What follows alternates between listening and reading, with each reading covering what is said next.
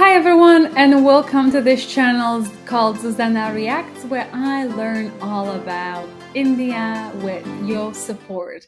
And in today's video we're going to look into the mysteries, I presume, of Mount Kailash. It again is a topic that is right up my alley. I'm interested in uh, all things history, mystery. So without further ado, let's dive right in. Mansarovar Yatra can be a dream that, that each, each one, one of you has. has. Whether, Whether you are Hindu, Jain, Buddhist, or anyone else around the world.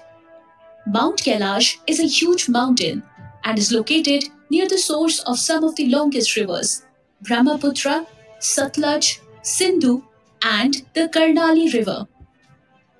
Note that by the way, I, as a European person, have never heard of this, so I'm super excited to, to learn more about. The Karnali River is a tributary of the sacred Ganga River. I know it is about believed Ganga that. Lord Shiva is sitting in an endless meditative posture on the holy mountain. So I don't really know much about Hindu religion, and I don't know who Lord Shiva is. So uh, feel free to comment below to let me know. Which soars to over 6,000 meters. Mount Kailash is a very popular mountain worldwide because the peak has not yet been climbed. Wow. It is known as the ultimate journey to the center of the universe.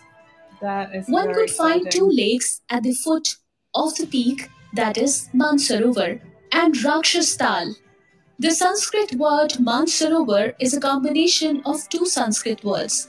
Manas means mind or intellect, while Sarovar means the great lake or pond. Mansarovar has a round shape that resembles the sun and Rakshastal takes the form of the crescent moon. The two lakes represent positive energies and negatives.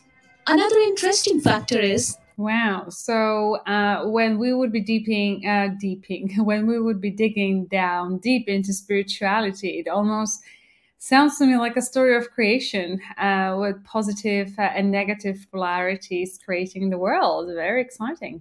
that Mansarovar is a freshwater lake and Rakshastal is a saltwater. Wow. The mountain is one of the highest mountain in Tibet, but it has never been climbed by modern man and is probably Wow. never due to its unique religious significance. In 1962, first interest in climbing Mount Kailash began when the famous climber Hugh Ruttledge began to study the north face of the mountain. At that time, he was informed by the British Mountaineering Association that the mountain was utterly unclimbable. While studying the north face, he thought he had found That's very interesting. Do you, uh, any of you know why this mountain is unclimbable? I'd love to know in the comments below. Found a way to reach the summit but ran out of time.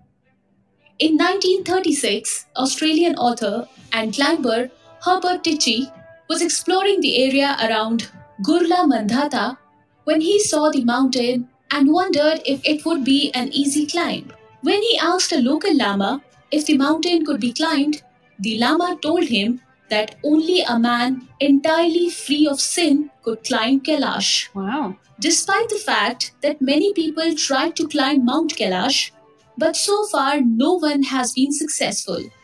According to a specific hypothesis, the mountain fortress changes position for those who try to climb. Wow. Those who visited the sacred Okay. mountain claim to have noticed rapid growth, especially in the visual. nails and hairs.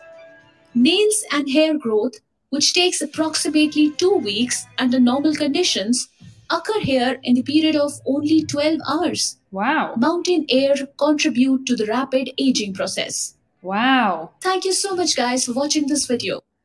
Wow. Wow. This is this is really mind blowing. This is very interesting. I've never personally heard of Mount Kailash, and it's uh, not very good aging um, effects that it has on a human body.